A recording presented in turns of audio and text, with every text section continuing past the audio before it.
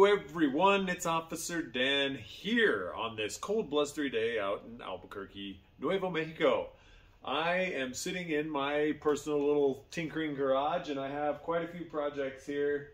Um, got the motor out of my GTR, which is why I'm here to talk to you guys today. So I have been absolutely enamored by all the videos that I've seen online of everybody doing the dry ice blasting it's just like one of those satisfaction things where you see a dirty part and then it's like brand new underneath when they're done with it. Uh, unfortunately, dry ice blasters are in the 10 to 15 to 25,000 dollar range, which is absolutely out of my budget. So enter the Sanitmax SM1000.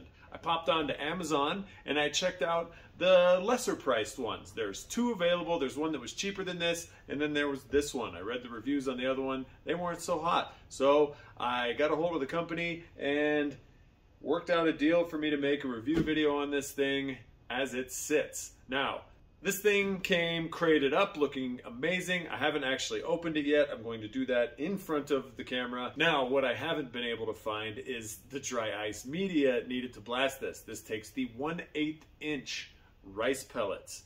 And that has been like pulling teeth to find. I finally worked out a deal with Airgas to get the first shipment of that stuff ever in Albuquerque. So we're going to be giving it a try tomorrow, but I wanted to get this thing unboxed and set up and ready to go. So when that dry ice hits, I'm gonna do nothing but blasting, or at least learning how to do this, and then maybe do some blasting. All right, let's get this thing open.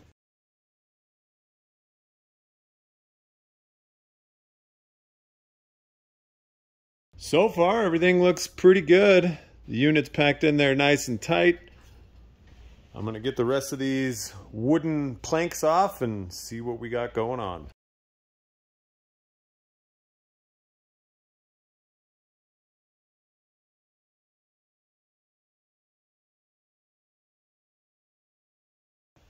And just like that, there it is. It's already pre-assembled other than a lot of the accessories, which I will go over in just a few as soon as I get everything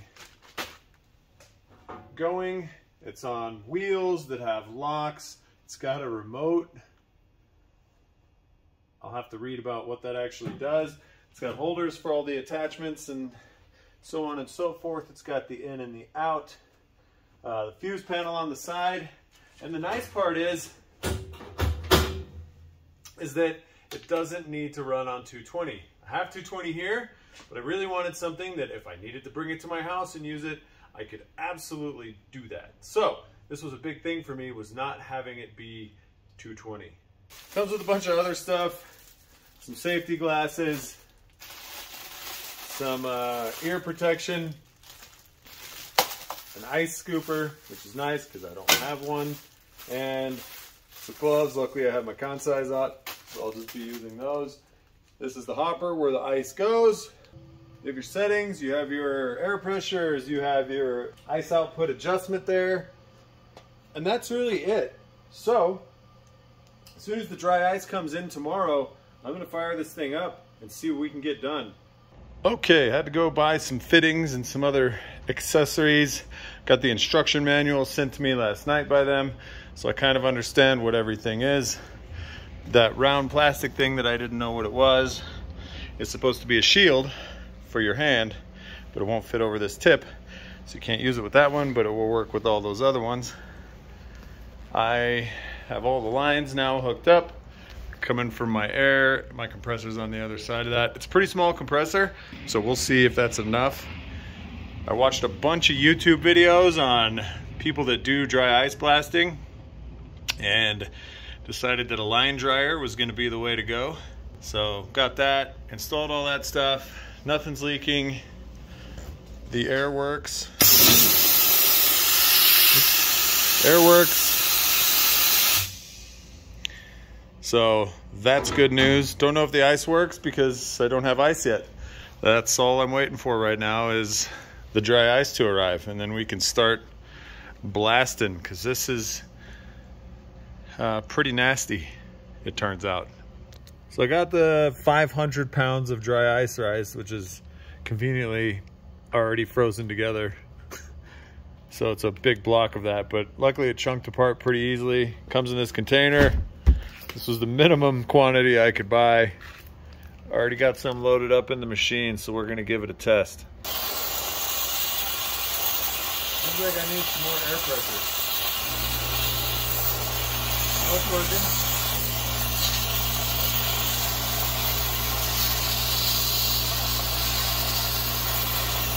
of.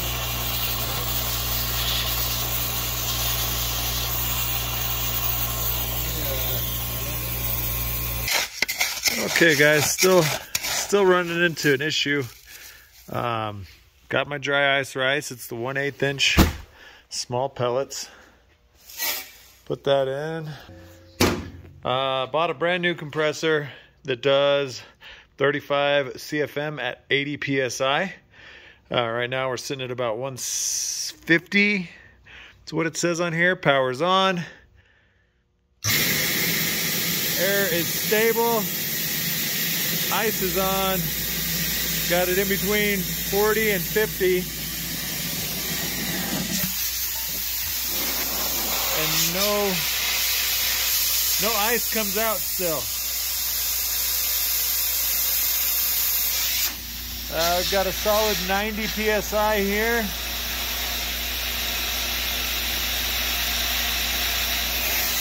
But no, I mean, there's a little tiny bit of ice, but it's not doing anything.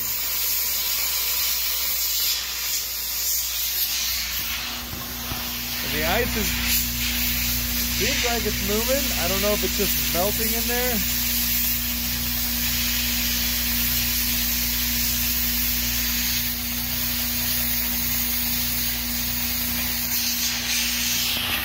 But yeah, it doesn't, not doing much of anything on the, the blasting side of things. So after seeing this thing fail miserably, I realized 100% that I did not have the CFMs nor the PSI to actually make the machine work, which was super disappointing because I had to pack everything up and head over to my buddy Shay's shop to actually get some work done. So after many trials and tribulations and uh, mistakes that were made, uh, buying a new compressor, hooking up all the new lines. We still didn't have the CFM needed, even though it said we did, but because we reduced it down to quarter inch, didn't work. So I came over to my buddy Shay shop, 10 tenths, um, and used their Manly three compressor air system, which uh, did everything that this thing needed to do now. Unfortunately, the rice is now four days old and has a lot of moisture in it, so it's not working as good as it should, but it's not the machine's fault, it's the rice's fault. And that's my fault for not being prepared. But as you can see, it definitely took most of the corrosion off. It blasted this completely clean from where it wasn't before. I'm gonna try to do a little bit back here and then this purple spot. So there's the before, and then I'll do a before there, and then I'll come back in and we'll do an after and get all this cleaned up and see what it looks like.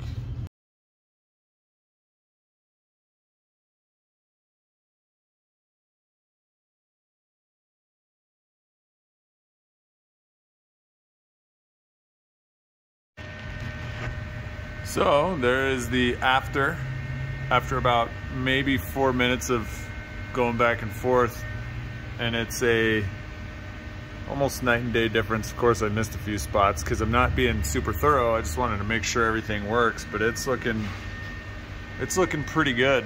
I tried almost all of the attachments and found that the skinny metal rod works the best. I'm assuming I can use that one with the 90 degree tip on it if I need to get into some hidden places. The PVC one isn't the best because it freezes into a certain position and then it's just like one of the metal rods. So, but for the price point of this machine, oh, I also did this too. Um, the price point of this machine, I think you, you really can't go wrong with it. It's, it's solid as long as you have the air pressure and the CFMs to get it done. It, it does everything that the fifteen to twenty thousand dollar machines do. It's just a little more analog. If you're looking to start a dry ice blasting business, I mean, you buy a couple of these, two or three of these, and you're still way less than buying one of the other ones. So, so one thing that we do want to know is that it obviously gets the grime and crust off of the underside of that thing, but will it get it off the inside of a cylinder head slash the backside of a valve is uh, yet to be determined. So that could be interesting. So we're gonna give it the old college try. All right, so that is the after. The valves down there and that's what it looked like before. Pretty gross and that's the after. So it absolutely will remove carbon deposits. Pretty gross. Now talking about the tips. This one obviously flows the most. You can really crank the ice up on this one and do some heavy duty blasting like if you needed to get the heavy grease off. Um, it does a pretty big spot, but you go through your air much, much faster. This one was the one that I used the most. It's the thinner of the tubes, a little more accurate. This one is great because it has a 90 degree on the end of it. This one, like I said, it's good on paper, but as soon as it freezes, you can't adjust it to put it anywhere. So I'm going to tell them to maybe try for a metal one that has sections to bend. This one, again, you have to have super high CFM to use it.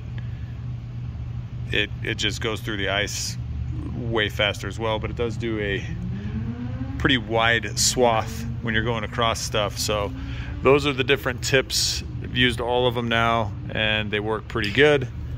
Um, one of the other pretty funny things on this is that it has a quitlet and out of the ice button.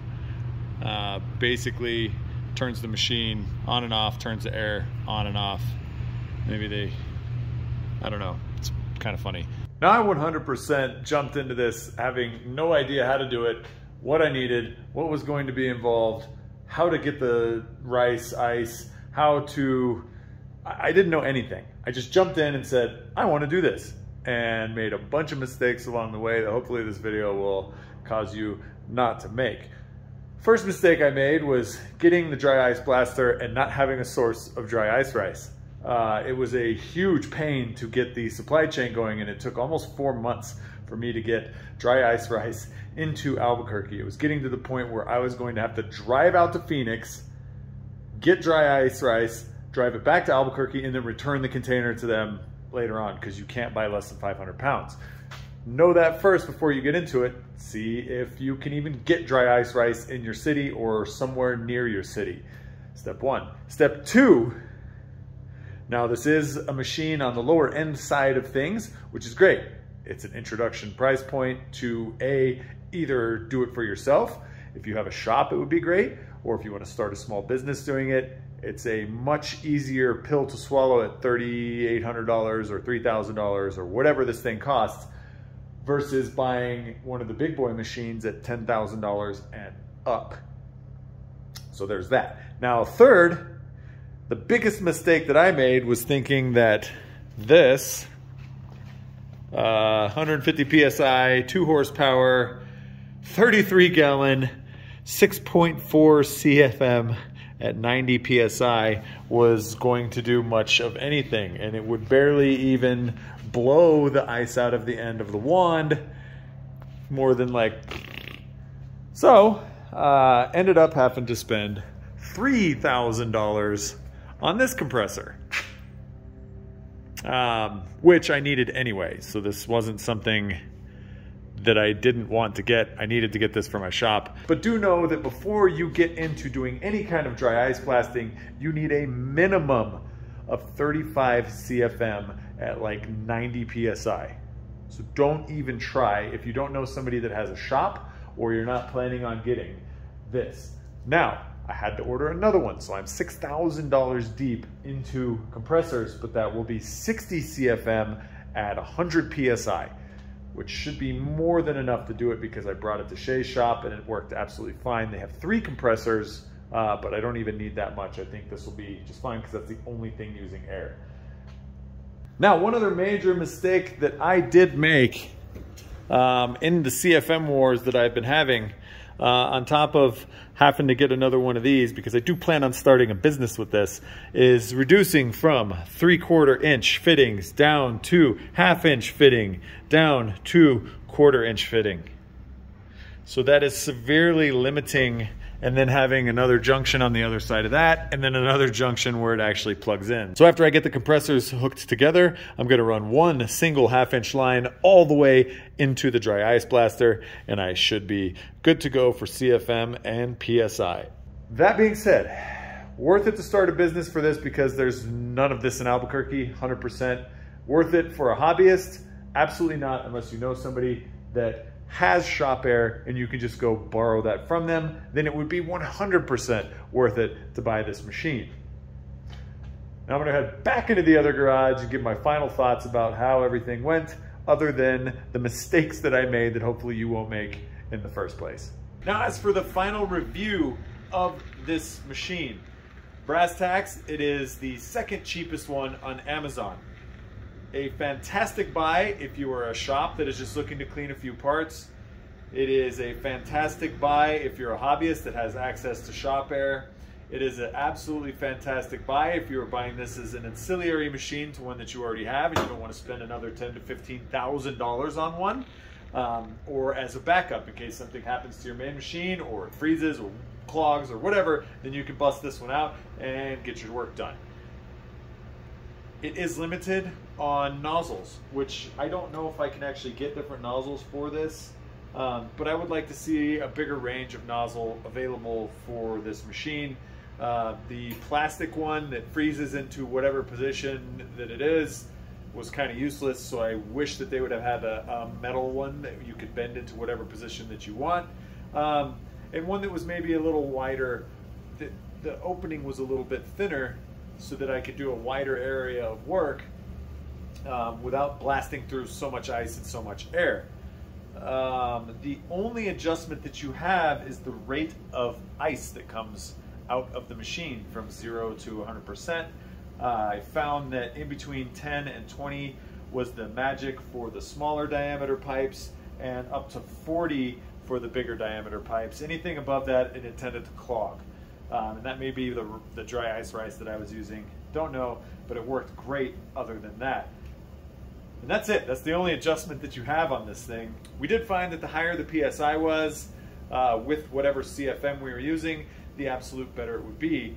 And in my garage, using my air with this, with this one compressor, it, eh, I didn't even need ear protection.